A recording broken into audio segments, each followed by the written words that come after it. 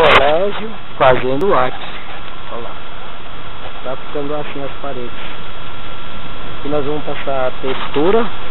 Textura ou grafiato. Estamos ao aí de decidir aí.